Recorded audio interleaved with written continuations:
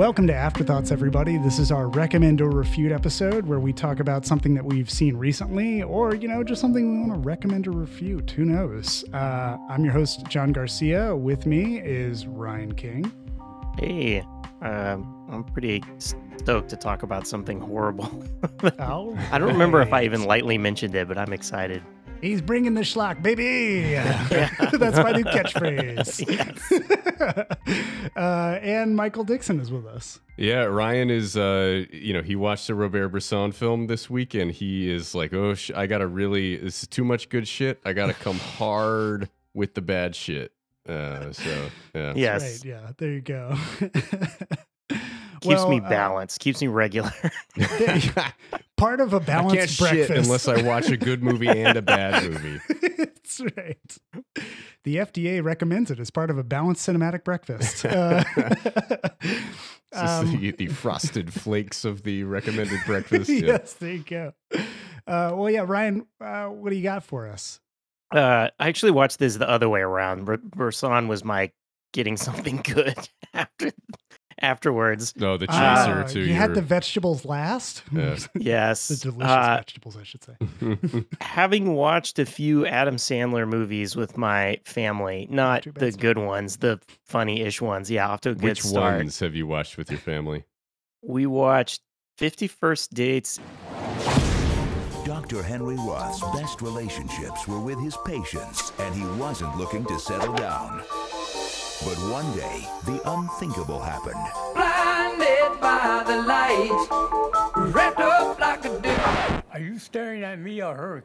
and Deeds. Longfellow Deeds is a small town guy. Chuck Cedars. Handshakes are for strangers, pal. We hug around here, buddy. What's up? What's up? And he's about to get When Mr. Blake died, he left an enormous fortune. He left it all to you, Deeds. $40 billion.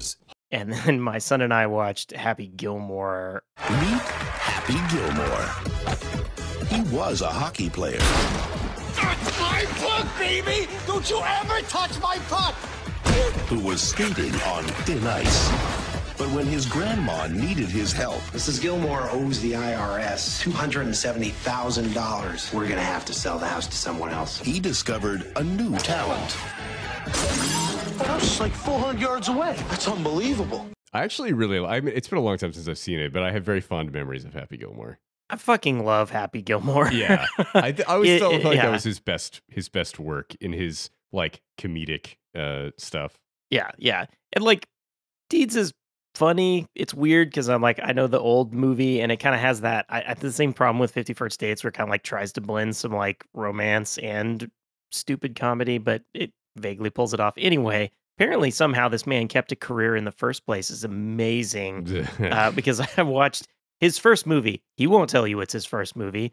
Barely anywhere is it mentioned that it's his first movie. But 1989's Going Overboard. Adam Sandler is Shecky Moskowitz, Hey there, I'm Shecky Moskowitz. a hack comedian who dreams of being a real comedian.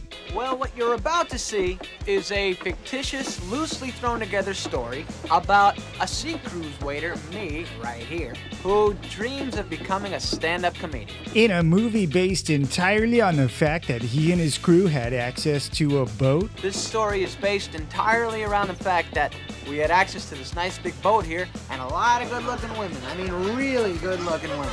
and no budget. I wanted to tell you, um, this is a no um budget flick, not a low budget flick. No budget. Grab your ticket for the comedic seas as he complains. All my life, I just wanted to get on stage and make people laugh, but nobody gives me a chance around here. shits on other comedians, I could get last with that. Guy probably farts on stage too. leverages homophobic humor and accents for laughs, You wearing a straight jacket? Oh! In your case, it might be a homo jacket.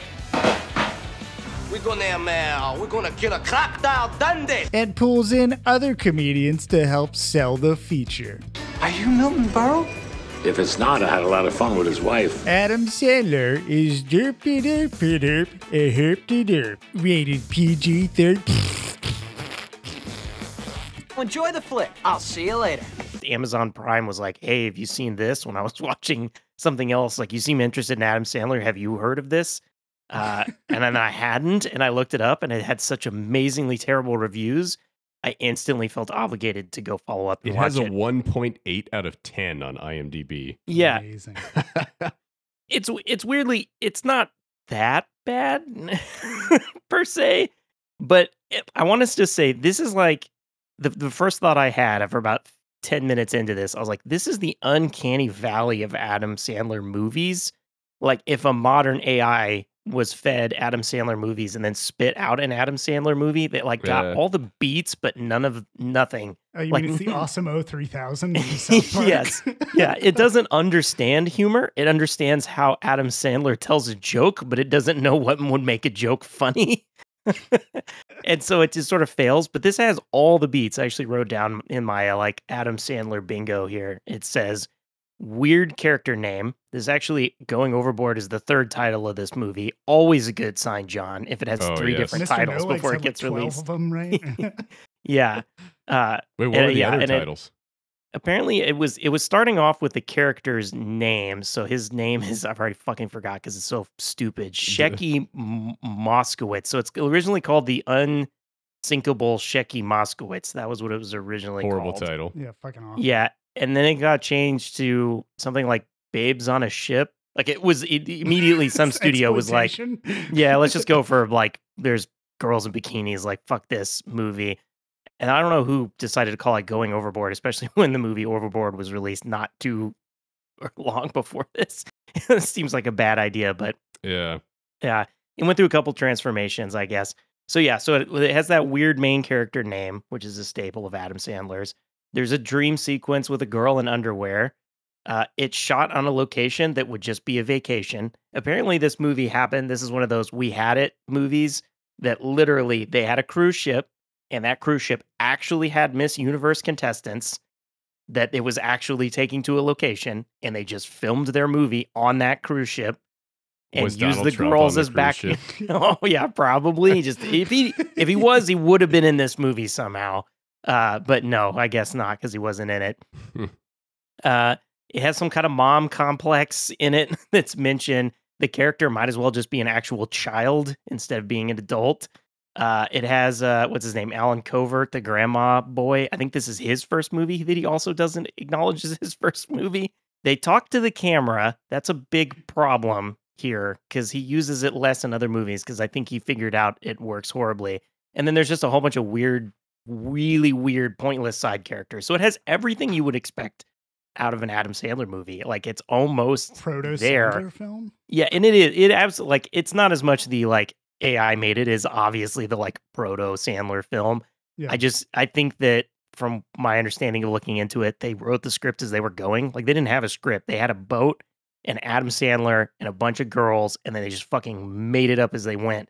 That makes and it, sense. sh- and it exactly shows. an Adam it very much shows.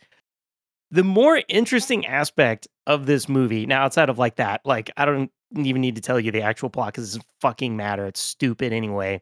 Yeah, sure. But the opening scene is General Noriega watching, he's looking for movies to watch, and he has a pile of VHS porns, and he has this actual movie with Adam Sandler and girls in bikinis on that VHS, and he puts it in and starts watching that. So that's what we're like watching. That's a fucking weird. They Through like, his a, eyes? a Spaceballs thing. Hold, hold on. Okay, so hold on. Partway through in the movie, they, you know, they're doing all the bits, and Adam Sandler's talking to the, you know, to the fourth wall to try to be funny, but it's not. They use little interstitials with the Miss Universe contestants, I guess, just to fucking have something to do. And one of the integral characters is Miss Australia, not played by Miss Australia, one of the few. Like we got an actor to play the bit. Uh, who in one of her things crap they were talking about like helping the world or whatever and she craps on general noriega for smelling bad and we cut to him watching it demanding that his lackeys go kill miss australia this is a side plot by the way Do they? his lackeys to go ki- kill miss australia to then later we cut when they get to the ship back to general noriega watching them on the tape actually trying to get Miss Australia. So he's like wondering if that's watching a live feed. It of is And this is- Grease Balls yes. thing. What the fuck? What the hell am I looking at? When does this happen in the movie? Now. You're looking at now, sir. Everything that happens now is happening now. And that was the part where I like lost my mind because I was like, "This is amazing! Like, this is like, is this fifth wall breaking? Like, where am I now?" It's multi-dimensional yeah. bullshit. You, you buried the lead here, Ryan. General Noriega is played by Burt Young, who is Oh, yeah. from Rocky. oh yeah, yeah. No, the, and also there's a dream sequence with Milton Berle, fucking actual Milton Berle. wow. And I and I do think I was like the budget pretty much honestly went to to probably those two actors because they're actually. I mean, Milton Berle actor question mark uh, comedian, but anyway, I'm sure he cost something to get and Billy Bob Thornton is in this. This is a very early and a blink if you miss it, Billy Bob Thornton. I think he also probably doesn't want to mention that he was in it. Uh. Uh, he yeah, he's like the butt of a joke in a stand-up comedy bit, sort of, but not really. He like ends up just heckling. Uh, but that's it. He's just there for that one scene. Uh, Billy Zane is also in it as Mm. uh as Neptune, who The god of again the in the yes yes in the insanity of this movie, it's unclear if he's real or part of the imagination of. But he does get referenced by another person, like sees him at one point, I guess. Th- This fucking movie just doesn't give a shit, which is kind of an Adam Sandler thing, but it's so much that it's sort of like then gives nothing any weight to be at that level. I did enjoy so one aspect of it that that is funny in Neptune's case, which I'll get to, since they filmed it on a cruise ship and they were making it up as they go, they had to ADR in back like all of the dialogue because it was mm. obviously too fucking windy to record in dialogue. And then you can tell by the time they got to that, a lot of people were like, "Boo, this movie sucks," and they're in the studio to just get their dialogue out. And it it in go. Yeah, to that end, there's clearly some people that get ADR'd over because they didn't bring them back, or they're just like fuck it, or they didn't they they quit or something along the way. But at the end of the movie, Neptune like gives his daughter to Adam Sandler's character, but every time he says her name, it's the same clip of the first time he shouts for her. and so it's just like in the middle of a sentence. I'm trying to remember what her name is, but Oh it's something. It's like it's like slimy. I swear to God, it's like slimy. Oh my god. And yeah, and so he's like, "Hey, Slimy!" And he's like, "You should meet my daughter, Slimy. I think you should get married to Slimy." It's just exactly that Uh, same Holy shit. Yeah, I will send you the clip of where Adam Sandler gains sentience in the middle of this movie and realizes it's not funny, and actually like directly says that to the camera. How much Um, did it but cost yeah. to watch this on Amazon again, Ryan? Uh, Free? it is free on YouTube. Oh, okay. Oh, It's so shitty. They're happy to just get the NordVPN ad money at the beginning of it. there's And they only don't one even- ad. At the They don't even put ads in the middle or Oh, anything. wow. Like, they're just like, look, if if someone watches this and we get five cents from NordVPN, like that's great. That's pretty fucking amazing. So And yeah, we have- we anyone anyone can go watch this Now at any time on. YouTube. Yeah, now you got to put the, it's it uh it, it's only like an hour and a half. You know, it's it's Don't- honestly don't not too. to, Don't even. An hour and a half is still too long, Ryan. Don't Hour even try to thirty nine. Hour thirty nine. Hour thirty nine. Oh, that's too long. What the fuck? Yeah, it's longer than I thought it the was. Trooper is like seventy six minutes. What the fuck is this? yeah, I was thinking this would be like an hour 19, given what you've told us. like a solid Yeah. hour ten, maybe. I was hoping. The- the whole plot is the, the the core plot is he's on this cruise ship as a waiter and he wants to be a stand-up comedian uh and there is already a stand-up comedian who's not funny which is true and then he gets up there and he's not funny which is true and then somehow he finds his comedy and supposedly comes becomes funny but he's not like that's that's the movie in a Wow. nutshell I heard the Safdie brothers watched this movie before they cast him in Uncut Gems. yes, yeah, this is the one. The the the other interesting thing from this is like after watching it, I just have to be like, how did he make anything else? Because anyone else, this is before he was on SNL. Wow. How did he get on SNL Right? from there? Yeah, wow. I guess he was doing stand up. Like he went and he did stand up and he got found on that, and he's just been lucky to not tell anybody like that this was this was a thing or that it happened. was this a theatrical release?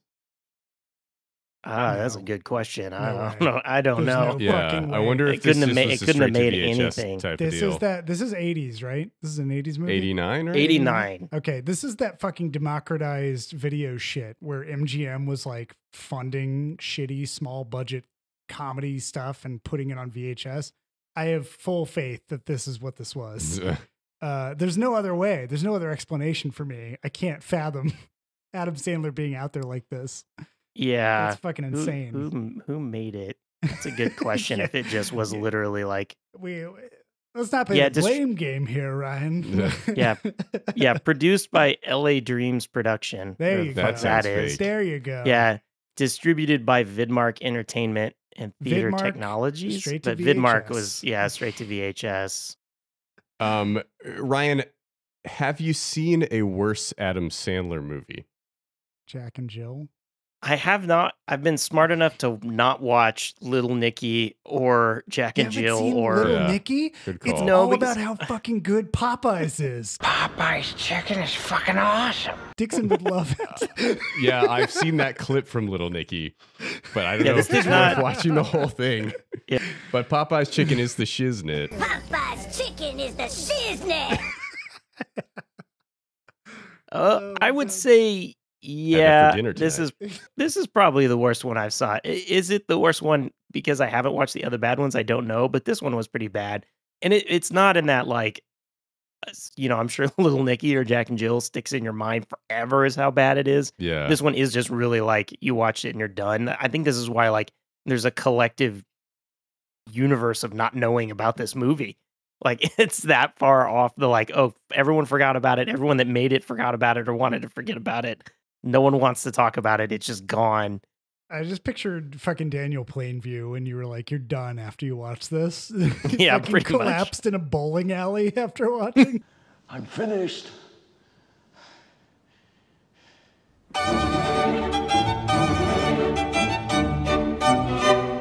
Yeah, there was certainly a point where I was just kind of like, okay, can we can I be done? Like can I just say that I watched it? I need to get to the end of this. He was on four episodes of The Cosby Show before doing this. Adam. Sandler was? Right. Yeah. Yeah, he had, had some idea. yeah, he Someone did a called little bit of television. Did he do the same grandma voice? Yeah, right. Did he sing a stupid fucking song? Yeah. Um, I thought this one was gonna have all like free use audio, but it actually had they actually got some songs in it too, which is crazy. It, the, budget for this ended up only being five hundred thousand dollars, which is just blows my mind. That I'm like, you could actually much. get a couple songs, you could actually get some real people in it. yeah. Um, then I guess you paid for nothing else. So I Ooh, don't recommend it. John's now forced to watch it due to a death pact, I but agreed. for everyone else, you're good. You're good to pass God on it. it. All right, Ryan, your next job is to watch Kevin James' worst film. I think the I wonder if I've earliest already done Sandler that. that I've seen is Billy Madison, which was 95. Uh, looking at his filmography, I don't think I've seen anything that he's done before that. That was that was the what he considers his first movie, which is Of actually his second does. movie because this one he wants to Yeah. ignore. Well, he was in other movies between then, but that would be like Billy Madison would be his first like starring role Starring role, aside yeah. from going overboard. Going overboard. Yeah. We, uh, Ryan, uh, this this can be cut out of the episode easily, but can you give me your best Adam Sandler doing the grandma voice? oh man. I don't know. Oh, can I do it on the spot? Doing the grandma voice. I don't think I I don't know. I don't know if I can do an Adam Sandler off the top of my head. I did a. Uh, I don't know did if I really do Adam of the- Sandler in those movies. I did. I bought the room script from Greg Sestero, like handed cash to him and bought that, and I did a read. With Did he my sign it for you? He did sign it. Nice. I did a table read with some friends. Ooh, who did you play? I played Claudette. Oh, And I, I definitely got the breast results back. Oh my god. I have stage four cancer, and uh, That that's sounds like, like the Adam entire really voice good. that I fucking. That is did really was that. good. Yeah. yeah. it's it's not hard to do. He Wow. really doesn't have that much talent. Um, yeah, you pretty much got. Yep, that's one voice, and then you need the yeah. other one where he kind of like yells. Oh and yeah, then the he- one where he's at the Knicks. Yes, there you go. yells it. right. That's exactly both of those things. Adam Sandler, if you're looking for a voice stunt double, buddy, I got you covered. The You're voice covered. stunt double. when they do the the sequel your to Eight. Crazy Days, Eight My Crazy voice is a Nights, little they'll do Eight Crazy Days. today, uh, We need to call in the stunt I kind of want to phone one. it in. in this animated feature of this ADR. Did, it would be like that when they did the they did them straight to video back in the day, but like the TV shows where it's like, okay, we're we're gonna op- option a Billy Madison TV show, Yeah. but we're not gonna pay for Adam Sandler every week. Yes, exactly. So it's now John Garcia pretending to be just Adam. Sandler. Hey, I mean, he makes so many things that are straight to Netflix now that are all straight True. garbage. That like, there's got to be something in that that he's Yeah. not, you know, going to be I could- actually doing everything on. Be in the fuck. What is this Magnificent Seven bullshit? Oh, ridiculous The six! Ridiculous I didn't finish Six. that. It's very rare that I don't finish a movie. I got about 25 amazed you minutes started in, it. and I was like, nope, nope, hard no, can't do this anymore. really amazed you started that at all. Yeah. Well, this was a long time ago. That was a different time. It was Yeah. a different man. I was. was a different person before that movie. oh man. After showing my kids a few Adam Sandler things, I, I felt like I was gonna need to show them something bad. They did not watch this with me though. I, I yeah, I don't know. You're if a I good, could I'd say you're a good to it. father. We don't have to call CPS on you for this. Yeah. Whenever we accidentally stumble into like they want to watch Uncut Gems or what is it, Rain? Sure. Uh, Punch Rain over love. Rain o- No, no. What's Rain the one about Over the Me? Reign over me? Yeah. If they accidentally watch one of those, I'll be like, all right, all right, hold on, hold Yeah. on. You know, it's like we got to back up a bit and watch something bad so you just understand. Yeah. um. Well, that's a refute from Ryan. I I think. think you I said- don't know you if he said said it. Did it, you? No, pass. Yeah, it's not worth. Thank it's God. it's not so bad to be worth going into, and it. Yeah, there, there- that's all there is Yeah. to say about that. Yeah. That's all I have to say Uh, about that.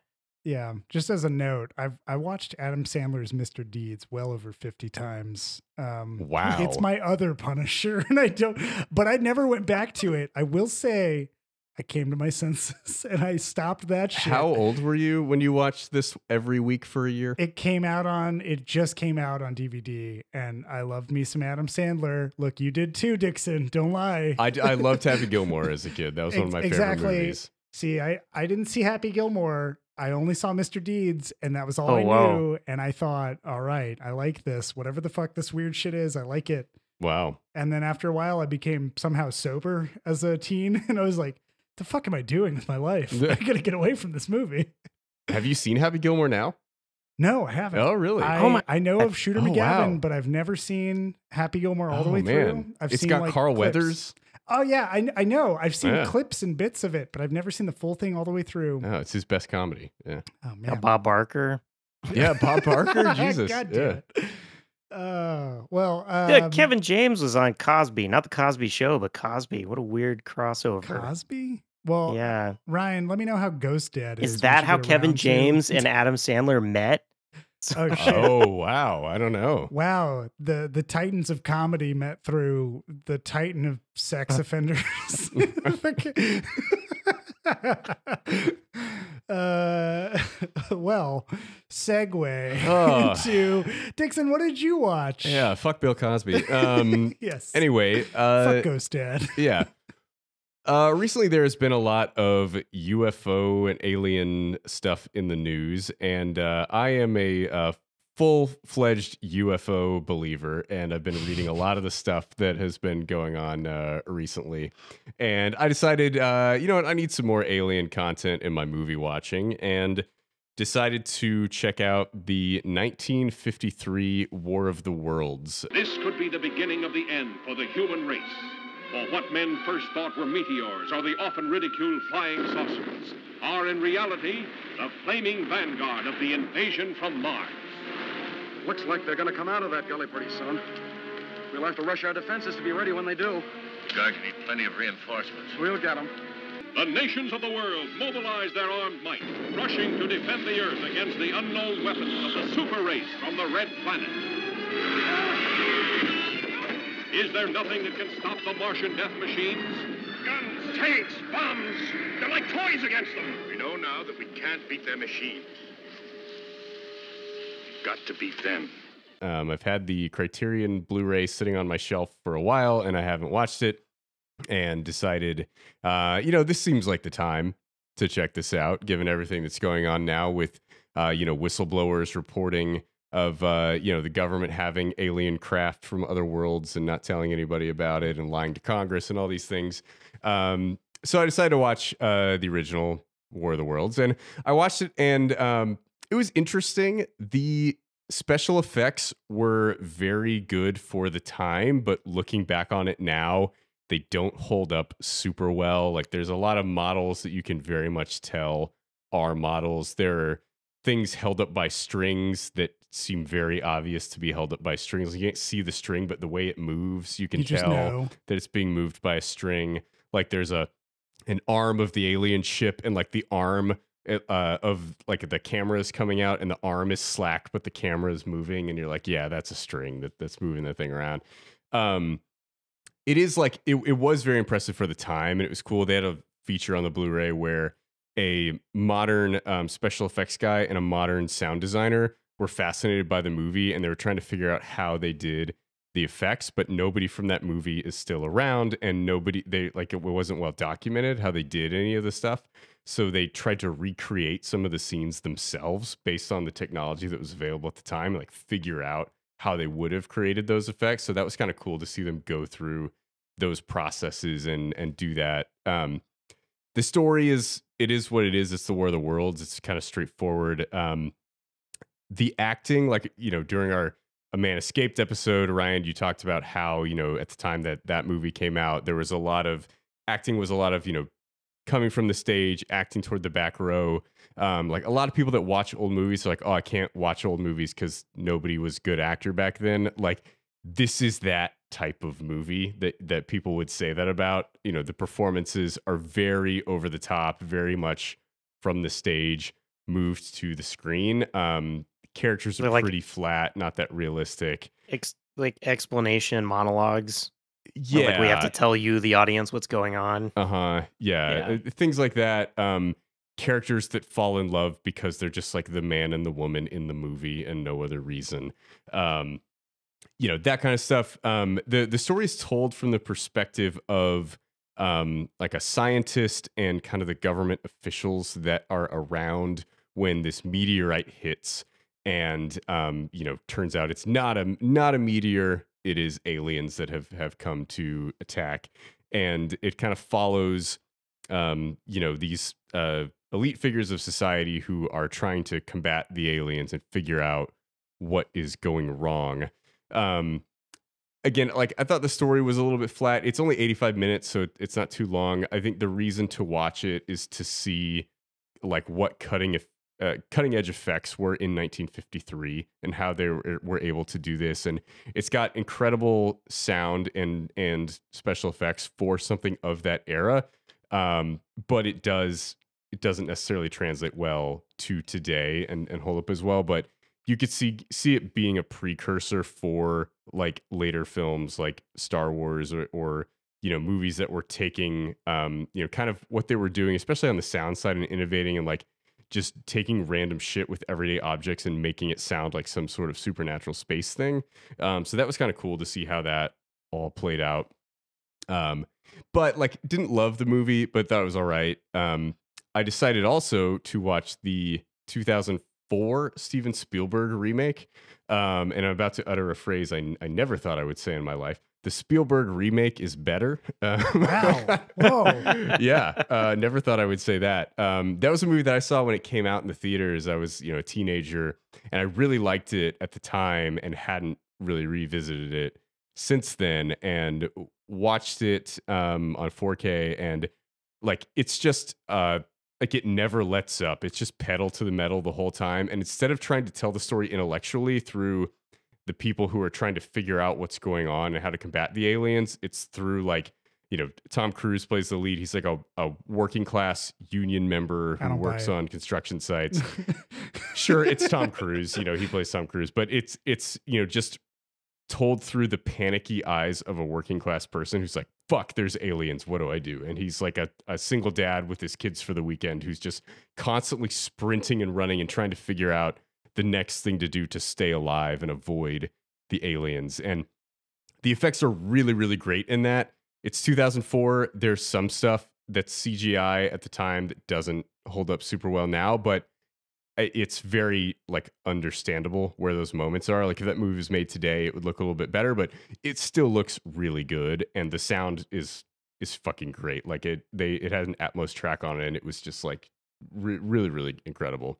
Damn. Um, so it's just kind of like it. Every time you think the movie is letting up, like the dust settles, and they're like, "Okay, let's regroup." It's like it just punches you again, and just just keeps going and going, and there's just tense scene after tense scene. And it's very different. Like it's much more of a horror film than the original 1953 version was. That feels kind of stagey and and intellectual to a degree, and the Spielberg remake is very visceral and it's just like you're in the shit and it you just go go go go go the entire time. Um, so I actually liked that version better than the 1953 version. However, the best adaptation of H.G. Wells' novel is the 1938 Orson Welles radio broadcast, War Yeah. of the Worlds, which I also listened to this week. Um, not a movie or a TV show, but um, that was pretty fascinating to to listen to. And you know, at the time in 1938, it sparked a lot of panic across the country because people thought there was actually an alien invasion going on, and it's just so it's so well produced and. Um, you know, they like cut out to somebody in the field and the audio is like staticky and it's, you know, somebody's over the phone and they did a really good job of making it feel like a real thing and staging it like an actual radio show where they're like, hey, you know, we're coming to you tonight and and playing music from the blah blah blah orchestra, and then they do that for 30 seconds. They're like, oh, we have to cut in to bring you this special news bulletin. There's some interesting activity on Mars, and we are talking to this astronomer professor, and Orson Welles plays that professor and like comes in, and they kept like you know interrupting a fake radio program to bring news, and it kind of escalating on top of itself, and it's an hour long radio program, and at the beginning they're like uh, you know, this is whatever theater, and we're bringing you H.G. Wells's War of the Worlds as told by Orson Welles. But then they just jump right into it, and they don't come. They never cut to commercial, and they don't come back and tell you that it's fake until 40 minutes in. and That's so amazing. there's all of this stuff that feels really real, like a news bulletin, until that 40 minute mark, and then they say like, "Oh yeah, we're just reminding you that we're uh, you know." Blah blah blah theater doing H.G. Wells' War of the Worlds, and um, at that point in time in reality, the police are trying to break into the studio and stop the broadcast because it's causing panic in the country. And it's like now it's kind of disputed as to how widespread this panic actually was, and it wasn't that popular of a radio program, so no one's really sure exactly how many people were freaking the fuck out, but some people were uh, to the point where they actually called the cops on the studio and tried to get Orson to stop broadcasting. Um, and they were able to do the whole show, but um, you know, almost got stopped by the cops. And like toward the end, you realize that it's theater because Orson Welles comes back in and he like as the professor kind of narrating what he's thinking like later after the um you know onslaught of of the aliens. I've heard radio plays before of like um you know other movies that were adapted for radio in the 40s or whatever and it's like you know that it's clearly a, a play but this is like no we're adapting it for radio as if this is breaking news and I, I thought that was really cool. On all of the stories you know like spoiler alert for a you know 130 year old book and and you know like very old movies but like you know at the end of the movie the the aliens die because oh they like interact with bacteria in the atmosphere and that that kills we have germs and, and we've adapted to those and the aliens haven't. Yeah. and and all those i'm like wouldn't we die from the alien germs? Why doesn't that happen? You know like that seems like a plot hole to me. But um yeah o- overall I, I liked all three adaptations of war of the worlds that i watched and listened to this week. Favorite being orson welles' radio broadcast then spielberg's 2004 film and then the 1953 film directed by Byron Haskins. But all of them are different and have their own charms uh, about them. But uh, yeah, There's there's also there's multiple adaptations of this. How could you not when the book, you know, is 130 years old? yeah. Um, did you by chance ever dip into the 1970s discotheque version Uh, of War uh, what? Uh, it's Uh, pretty fucking great. Apparently, they still Are you do. are you bullshitting me right here, John? No one would have believed in the last years of the 19th century that human affairs were being watched from the timeless worlds of space. They still do some live stage shows of it. It starts with a floating head that narrates the same way that Orson Welles does. No one could have dreamed we were being scrutinized as someone with a microscope studies creatures that swarm and multiply in a drop of water. Actually, every version of War of the Worlds does that at the start. Yeah, and Then, and then it goes into this fucking awesome discotheque music. Minds immeasurably superior to ours regarded this earth with envious eyes, and slowly and surely they drew their plans against us.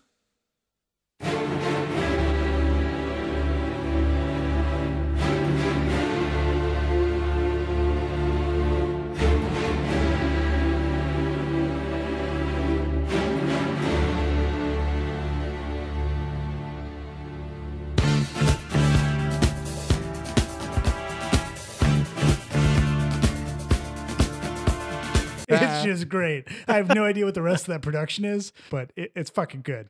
Um, Is it like David Bowie music or like what, what are we no, talking it's like here? a bam, bam, bam. It's like shit you would get down to in like the late 1970s clubs, probably. Where I'm sure there's some people out there popping their shoulders to it or something. It's like the opposite effect of the original broadcast. Exactly. They're Like The we're going to opposite effect, broadcast where this like, one, and everyone's going to get out and more." dance. Yeah, exactly. Um, yeah, uh, or like the uh, there's a 2019 made for TV adaptation with the same producers of The Walking Dead. That Oh. for about six episodes of the first season, I found really compelling because it does that same thing where you're watching you watch a variety of characters, but they literally are trying to figure out what's going on for the first six episodes and it gives you that breath like there's that that whole breathing space where you really don't know what it is obviously as a viewer it's war of the worlds you know it's aliens but they let the humans have way more time to be like the fuck is going on exactly? Like everything is in shambles. The military response is all fucked. Like people trying to just figure out how to survive and whatever is happening. And then after a while it sets into like all right and then there's these aliens and they're doing this stuff and that's when it unfortunately gets boring. Um, but I felt like, oh man, there's so much cool shit you could do with this H.G. Wells property. Um, beyond, I, I remember seeing the Spielberg version and not really digging it that much. So I'm kind of curious to go back to it. Um, I also just always thought, uh, did you read the book? No, I haven't read the book. There's a section, you'll laugh at this. There's a section where the book's told in kind of like a first person, going from door to door, trying to figure out what to do for this character. And at one point, they go to a door where they're knocking in London. And they're like, a man came to the door and he was ejaculating. and, Oh. and because ejaculating used to mean to the door. Yeah, because it, Ah. ejaculating used to have the context of you're yelling at somebody and you're like enunciating loudly. Oh, wow, That was what ejaculation was. Was Like you were ejaculating word. Yeah, yeah, it's the same thing. Okay. So like I just remember everybody in my class fucking laughing their ass off when the man was ejaculating at the door. it was like, what he just fucking really he stopped what he was doing and just came to the door and came. Um, but yeah, uh, it's different connotation. Everybody, it's different. Um, Incredible shit. Did you watch? Did you read that in in school growing up? I or did something? read that in school. Yeah, uh, it was pretty gripping. You know, aside from the ejaculating part that made everybody laugh, the rest of Uh. it is fucking terrifying. Like really good, kind of like on the ground, first person sort of storytelling. So the radio broadcast totally different and really well done. I know they also like they advertised a, a little bit leading up to it, like we're gonna have a dramatized uh, radio broadcast, but. I think part of it was not everybody listened to the radio when they advertised that. Oh, sure. Like Right. if, you just, if you're just flipping channels on the radio and come Uh-huh. across like we found a UFO out in New Jersey and like we're trying Yep. to figure out what's going on, like that's got to be pretty scary. Definitely. and it's done yeah. in the style of a breaking news radio broadcast. Like they cut into the music to say like we have to give you this urgent report. it's yeah uh, so it, it just those are I- i don't know that's a great interpretation of it i really like that i much prefer that over the the movies same as you um but yeah i'm gonna go back and give the uh, the tom cruise one a, a second shake i only remember after that that scary movie 4 parodied it and i hate that i hate scary movie 4 no, I don't know that So I saw just like Scary Movie four. i don't think you need to Yeah, so at some point matter. they made too many of those. That would be Scary Movie 2. yeah They made too many yeah, of them. They made too many. Ryan, have you seen any of the uh, War of the Worlds adaptations or listened to the radio broadcast? I've listened to the radio broadcast. I've, re- I've read the book. I listened to the radio broadcast. I watched the old one, and I don't like Tom Cruise. Okay, Uh, we go. know you don't like Tom Cruise. Yeah, we know you know that Tom Cruise is your your John Hamm, but you know. I mean, Tom, Tom Cruise in the movie is just the guy that runs. You know, like that's that's all that's all he needs to be. Like the the movie is Right. just like it doesn't matter who these characters are. It's like they they try to have some weight to the family dynamic that kind of works and kind of doesn't. But plays catch with a kid. like yeah, but the the thrust of the movie is like they're just constantly like at fear for their lives, moving from horrifying thing to horrifying thing, and it's just like a fucking roller coaster ride of intensity the entire movie. And it's like it's over, and you're like, holy shit, and then like it's not going to leave a lasting impact on you of like, oh, that was great cinema, but it's a really fun experience Yeah. while you're watching it. Um, and like pretty fucking impressive for 2004 or whatever it was when it came out. Yeah. I think that's kind of one of those I knew what I was gonna get. So Yeah. like yeah, I can kind of pass. Spielberg like kind of I don't know, he come he grows on me on certain things, but on others I'm like, okay. I'm not the biggest Spielberg fan, but um, you know, some of his stuff, his some of his stuff likes I like some of his stuff I don't, I don't. But um, I think War of the Worlds works pretty well. Also, Tim Robbins plays like a deranged guy Okay, with a now I'm shotgun who's like trying to who thinks he can like fight back against the aliens and defeat them Tim with Robbins. his shotgun out of his basement. It's like it, it adds some some fun color to the to the film at that point. That's pretty amazing. Uh, Um, yeah, I would like to say, I'd like to to kind of co-opt your promotion of a radio broadcast if uh, you're interested in something that's similar kind of drama.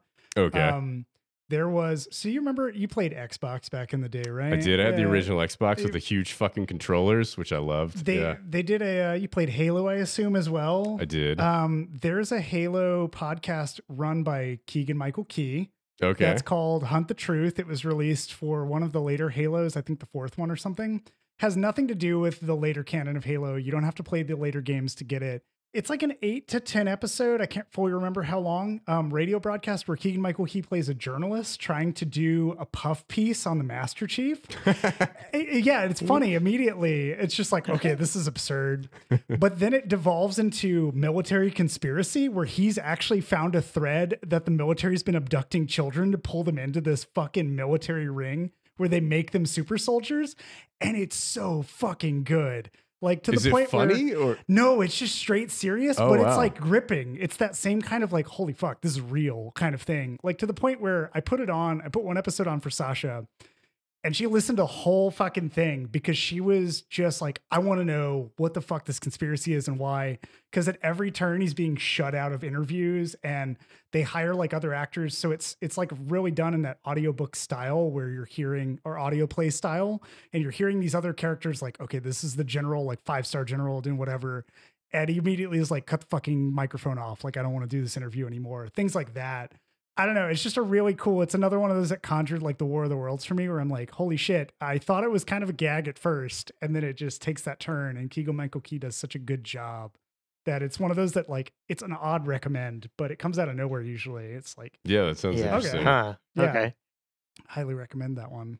Um, Um, I think it's also interesting. Orson Welles thought that he was finished after the War of the Worlds broadcast. He's like, "Fuck, I'm done. I'm never gonna be able to work again." this is in 1938. He's 23 years old. Like, hasn't made a single movie yet at this point, and obviously recovered from this. But I also saw an interview with Welles um, later in his life in the 70s, and uh, the guy was asking him about kind of his favorite medium that he's worked in in his career because he's done stage plays, he's done movies, he's done radio, he's done like magic shows, like all this different stuff. And he was like, radio is my favorite thing that I've ever done. He said like film is the thing that he loved the most, but radio was the thing that he had the most creative control over, and he could just design these crazy radio plays and kind of do whatever he wanted and had freedom to do a bunch of shit. And it seems like a cool, like just listening to his War of the Worlds broadcast, I'm like, holy shit, this is really cool. And it makes me want to kind of like try to investigate and see see how much Orson Welles radio there is out there that I that I can find. But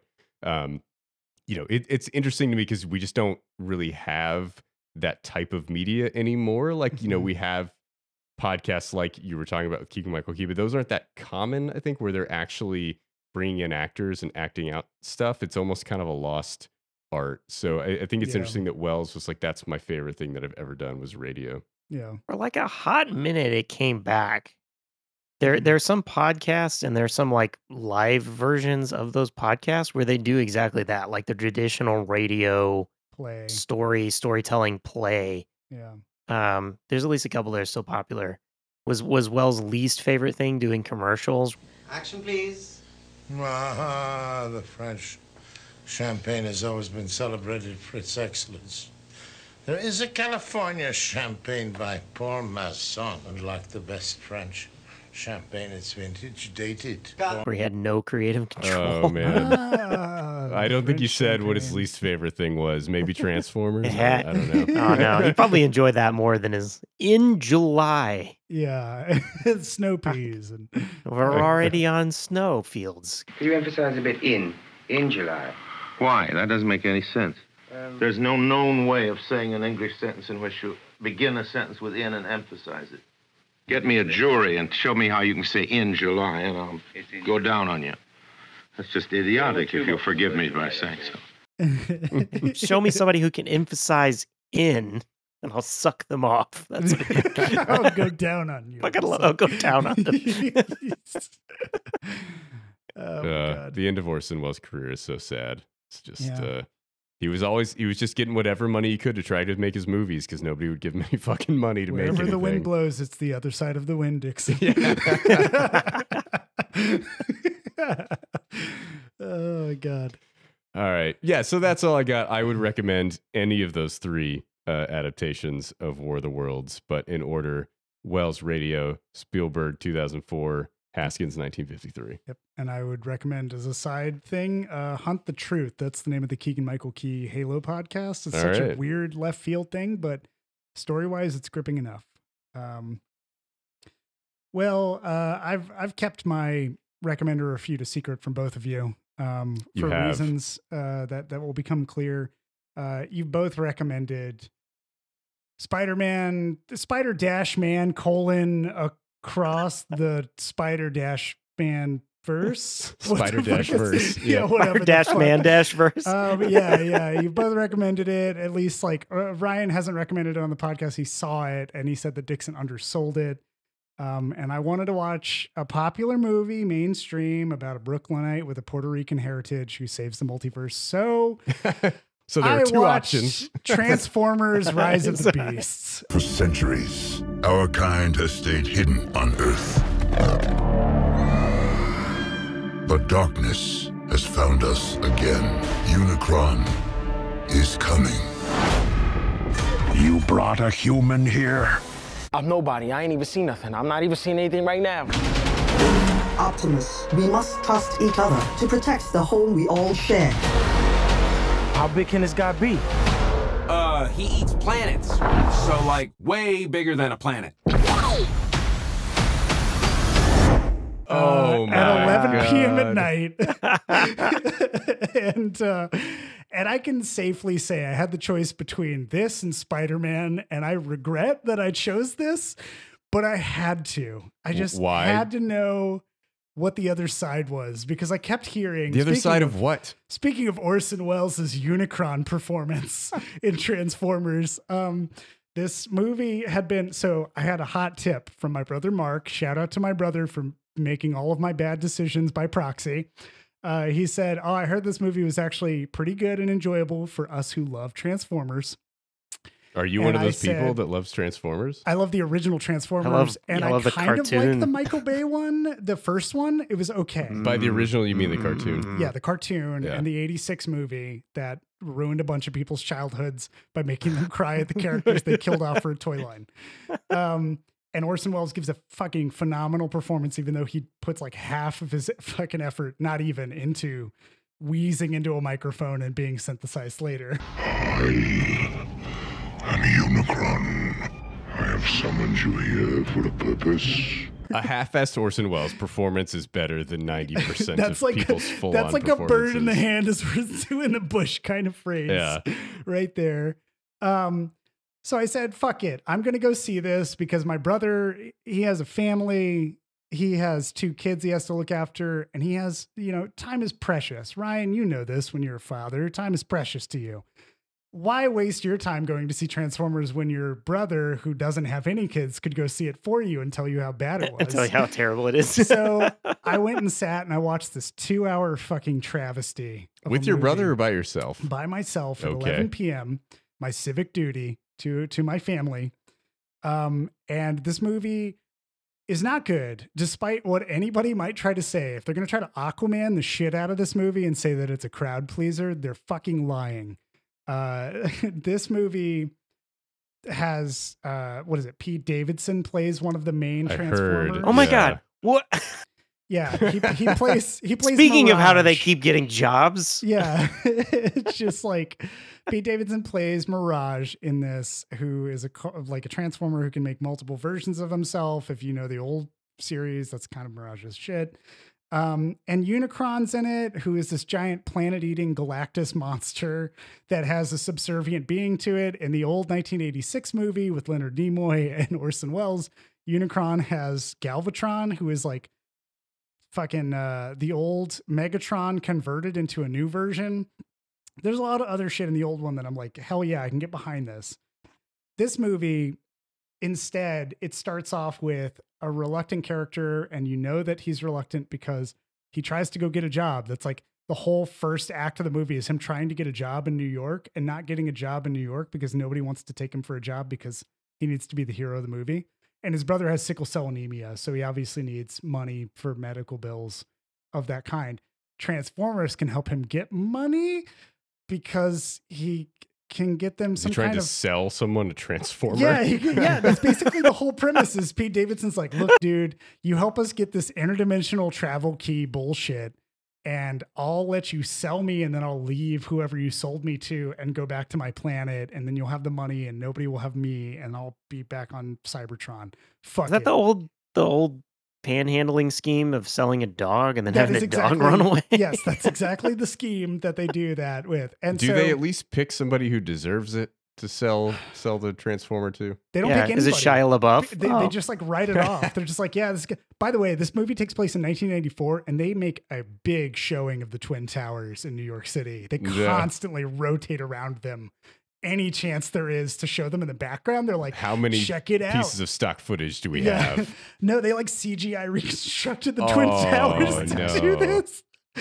Um, it also started with one of those "Thank you for being in the theaters. We love having I you here." those. And they were like, "You're going to see New York in 1994, and you're also going to see Peru." And I was like, "Cool. I really give a shit about you telling me all these things." How much Biggie Smalls and Nas A lot. are in this a movie? lot. They they do it anytime they have a, a record dro- drop, like any needle drop. It's Biggie Smalls, it's Wu Tang, it's like Mhm. any like. Don't get me wrong, the soundtrack's bumping, but Tribe. like, they're yeah, they're literally just trying to like make up for everything else this movie doesn't have. No, I sound. It sounds like the music's great. yeah, the music's fucking great. Um, yeah, uh, one of the only things that I really take exception with. So the plot is well, I take exception with a lot of this fucking movie. It stomps all over my childhood. I really don't care about the nostalgia factor. I just thought it would do something interesting with the story, like. The main bad guy, he's a rusty Megatron who's come to Earth to scout out Earth for Unicron. And they have a whole thing where they're like, we're introducing the next phase of our toy line, which is the Maximals. I remember from my kid, my They're the childhood. beasts. They're the Beast. Yeah, the Beast Wars is what the TV show they used to have was. And it was like Optimus Primal, and he's like a fucking gorilla, and he turns into Optimus Prime basically. Is he a car? no, he's not. He's just a gorilla. And then they He's have just like, like, a massive gorilla. He's, he's just a King massive Kong. robot Yeah. gorilla. Oh, he's And a then they- robot. yeah, and they have like a robot cheetah named Cheetor, uh, which is stupid. Do they Um, transform into anything? into people, like robot into people. Poorly transformed robots. Yeah. They used to have like a toys? spider too, and they used to have like a rat. Wait, wait. was- So Yeah. they transform into people-shaped robots Yeah, into yeah. animal-shaped robots. yeah, yeah, yeah, That's exactly. right. And they used to have like a raptor or some shit that was like a rat. In What's the point of being a person-shaped robot? Because you that's a robot. What was the You point recognize- before? But like they're not you know, they- blending in. Yeah, it doesn't matter anymore. What the fuck is the point so of transforming? That, that's like that's where like the entire movie, fucking Ryan was on my shoulder. Yeah. like it was just one of those things where I was like, "How much of my friend do I have in my brain?" And it, the, the answer is they- a lot. because the They whole come from time- another planet. They're not Okay, trying to but they- blend in on Earth. They're trying to blend in on the. Ryan. Ryan, in this At movie, least that, at least in that. this in this movie, Optimus Prime, who is a, a Mack truck that turns into a person robot, meets Uh. Optimus Primal, who is a gorilla that turns into a person robot. and they and Optimus Prime, the truck, is like, "Who are you?" And he's like, "I'm Optimus Primal. I'm from your past and also your future." And they do not explain any of that. and then they my move Yeah. forward. Um, okay, because that was my follow-on question: is like, how can how can Primal be there? They- and he's they- not voiced by Peter Cullen. He's, not voiced by, Peter Ron Cullen. He's voiced Perlman? by Ron uh, Ron Perlman. Perlman. Yep, and and they just do a whole thing. Where there. does this is 19? I'm also completely like you said 1994. Where does this fall with the other movies? Uh, it's after Bumblebee and before Michael Bay because I have no idea what Bumblebee is. Michael Bay's is in 2007, and the only reason I know that is because they play that Linkin Park song that came out in 2007 at the end of that fucking movie. To any surviving Autobots taking refuge among the stars, we are waiting.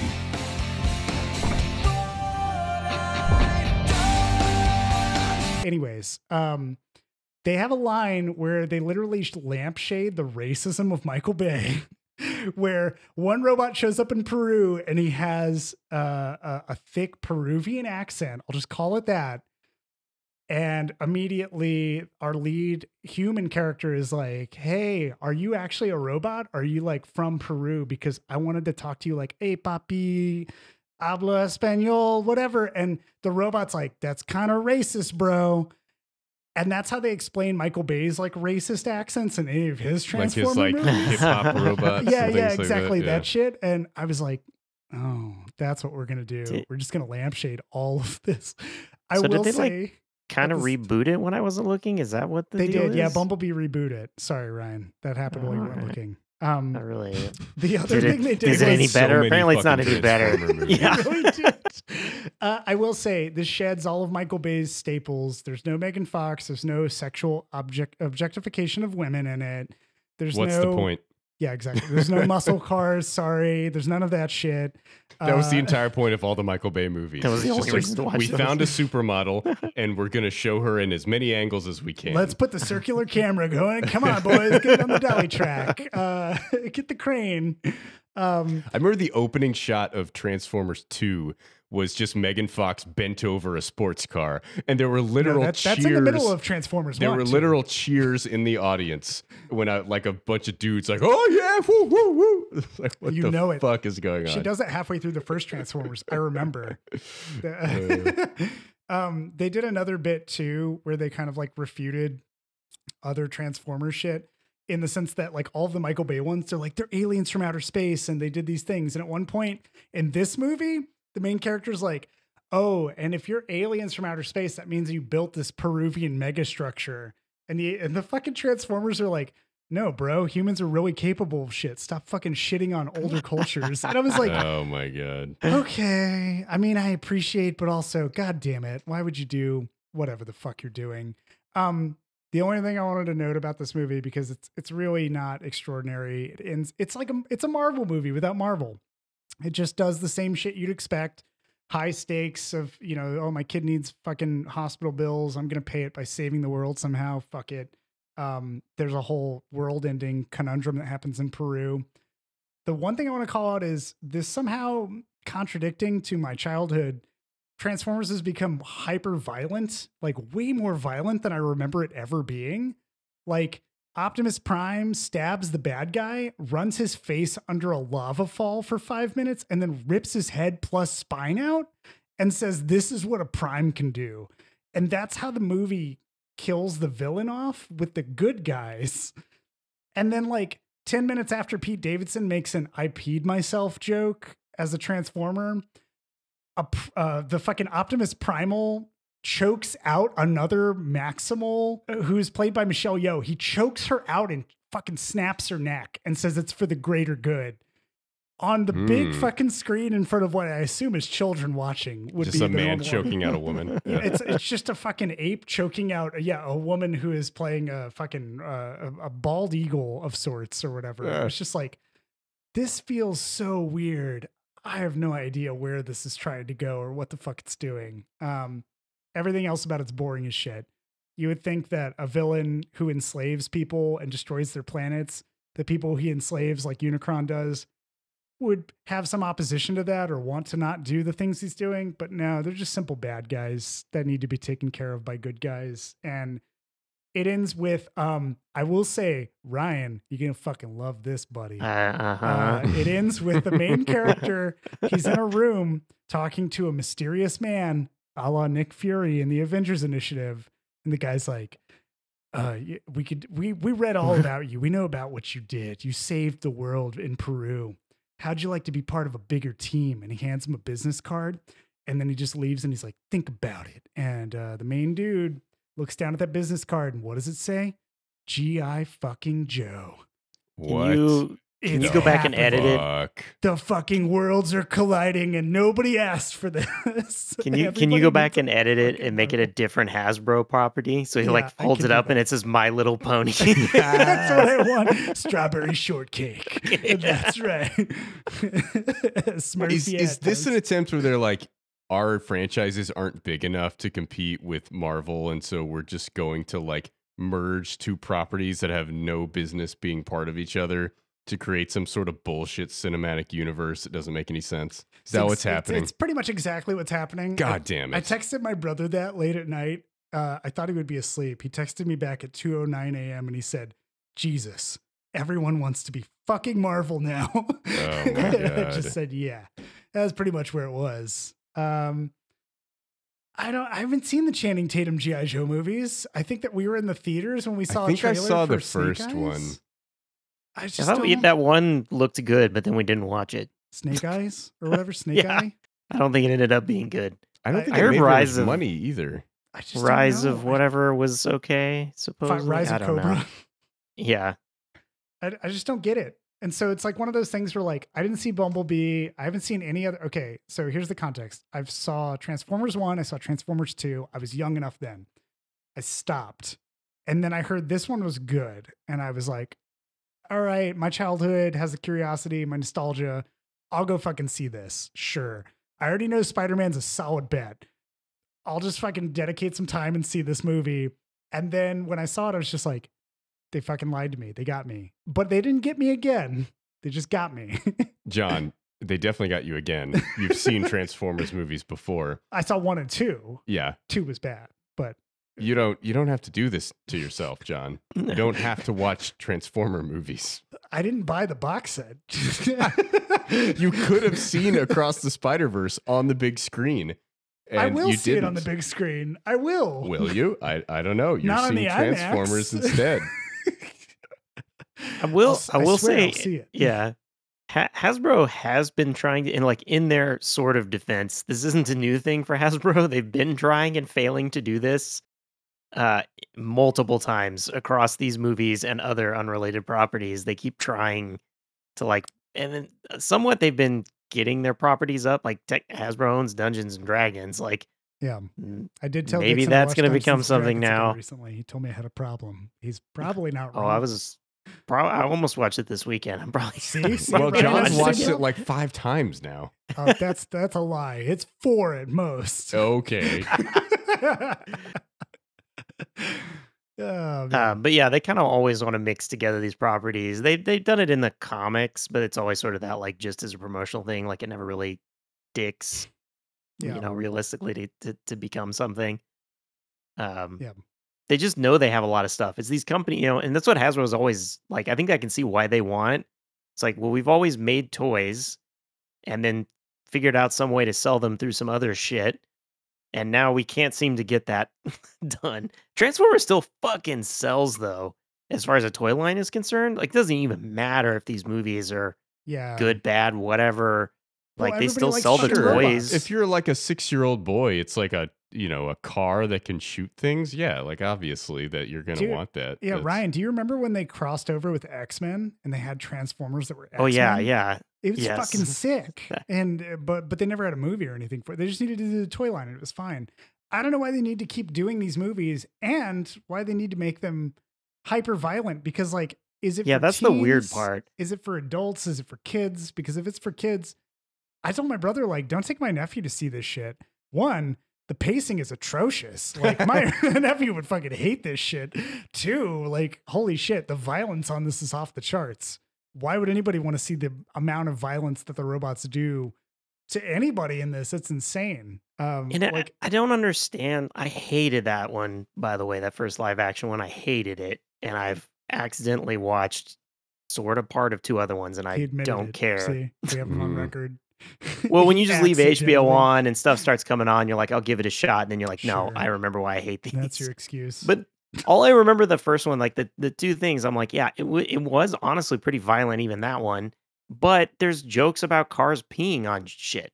oh yeah, and it, and, and that's where I'm like, which movie are we? Are we directly aimed at kids with stupid crap like an Air Bud movie, or are we a hyper violent, awesome military action movie like Fast and the Furious or something? Like, pick your thing and then just drive in that direction. Like, just go that way.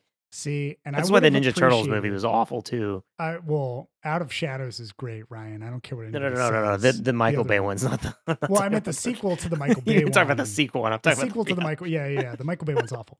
Uh, I would have. I that's where I would like uh, the GI Joe business card, Dixon. If it had been Vin Diesel comes out from behind something and is like, "I need to talk to you about," what fucking do," I would be like, "I'm fucking here for it." I hated this movie. Vin Diesel is driving Well, a yeah, transformer. exactly. Oh my god. Dude, They had yes. moments in this movie. I where- would watch that. I would Yes, be interested enough to watch They- that. I- That's I two had- properties I don't really care about. But if you did that, I would be like, so, I like- have to go find out. the fucking scene where where they find out that before Pete Davidson announces that he's Pete Davidson, they have a really cool car chase sequence in this movie where it's like, what are the rules of the Transformers? Where like the main character he falls on hard times, he can't get a job, he decides he's gonna he's gonna boost a car, and he uh, the car he picks is Pete Davidson, basically Mirage. And in the middle of a cop chase, there's like six cop cars on him. And then he's like, the, the stunt car like fucking whips around Fast and the Furious style and it's driving backwards. And he's like, no, no, no, this is bad. I want to be going forward. And then immediately the car just starts fucking doing the transformer shit and his seat like rotates around. And I'm like, if Dominic Toretto had a transformer, that shit would be next level. Whatever the fuck it is, it would be great. And I'm just like, oh man, I hope Fast X 3 or whatever just ends with some shit like that. It would be so great they get an experimental car and it's some bullshit. Um, Dixon, have you seen Michael Bay uh, bailing on an interview about how um, artistic of a director he is? No. Oh, but it sent you that clip. It's great. He his teleprompter stops working, and so he just gets up and leaves the interview. He doesn't know what to say, and the the question asked to him was, "Where do you get your inspiration from?" He, he doesn't know how to fucking answer it. He just leaves. It's so funny. Oh my god. Uh, but yeah. Anyways, Transformers: Rise of the Beast. Is Michael Bay a robot?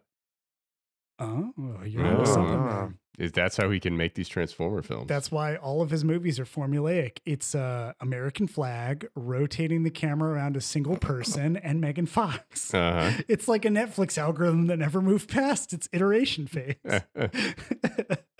I totally forgot that this came out. Like this, it's really interesting right now how much movies are bombing.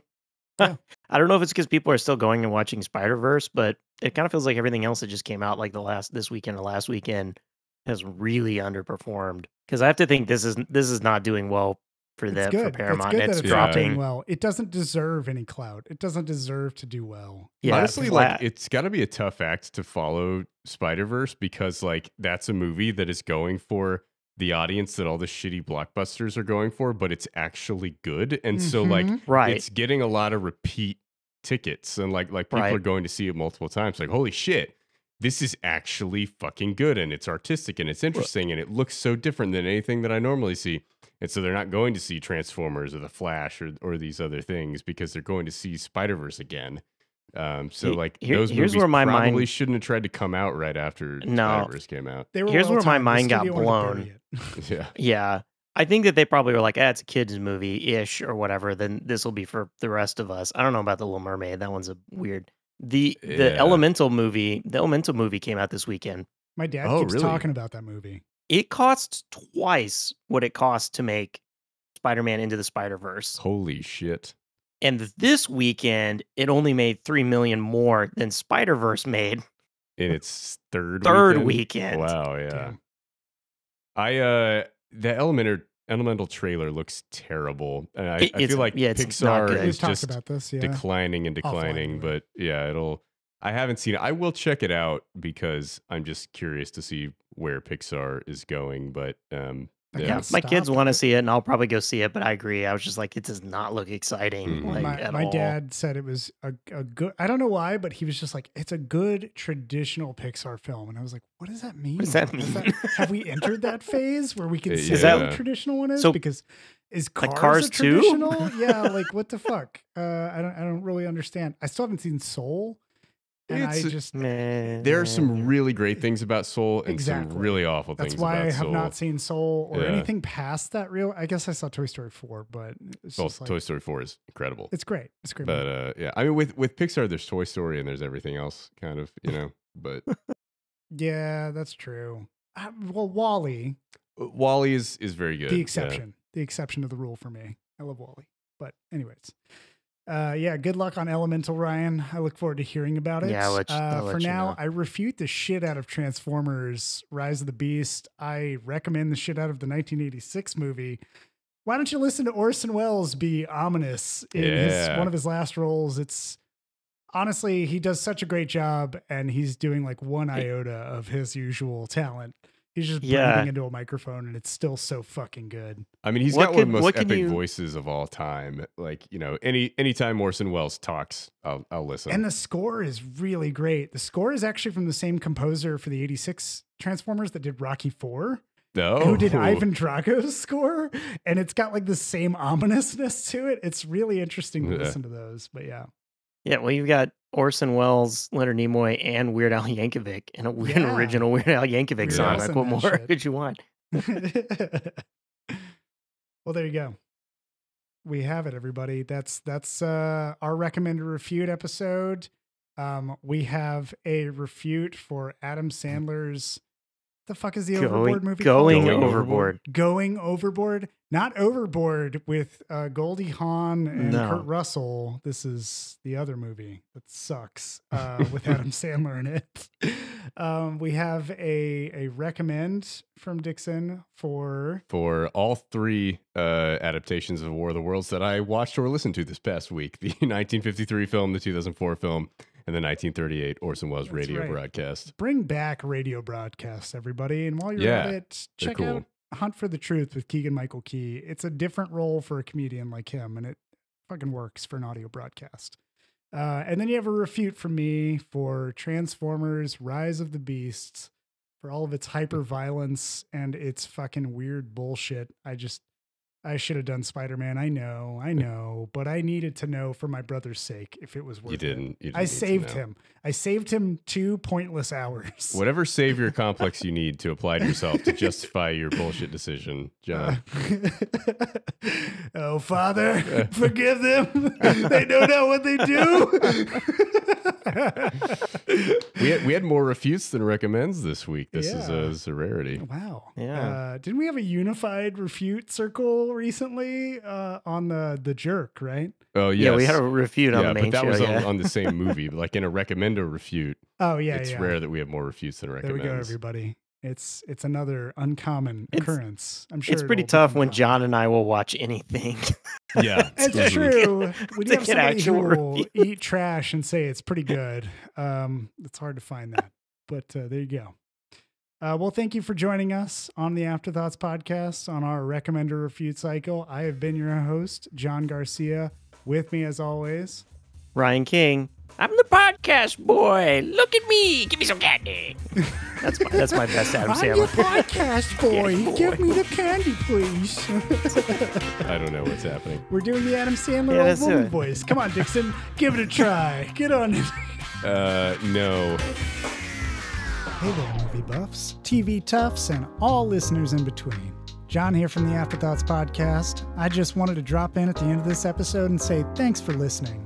If you've got afterthoughts of your own to share, hit us up. You can find us on Twitter, Facebook, and Instagram at The Afterpod, or jump into a conversation on our Discord server. You can find info for this and more at theafterpod.transistor.fm. Thanks again for listening, and we'll catch you on the next episode.